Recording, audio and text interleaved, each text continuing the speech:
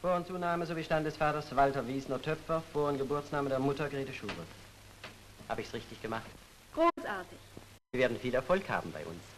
Wie meinen Sie das? Die Mädels werden neidisch auf Sie sein, Auf mich? Warum denn? weil sie hübscher sind. Nun sagen Sie schon, was Sie von mir wollen. Helfen will ich Ihnen. Sie brauchen doch sicher einen. Aber natürlich, sogar ganz dringend. Nämlich Wäsche für das Baby.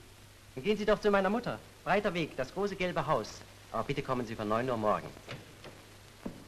Wegen einer Beihilfe für die Mutter des Kindes wenden Sie sich in das Zimmer nebenan.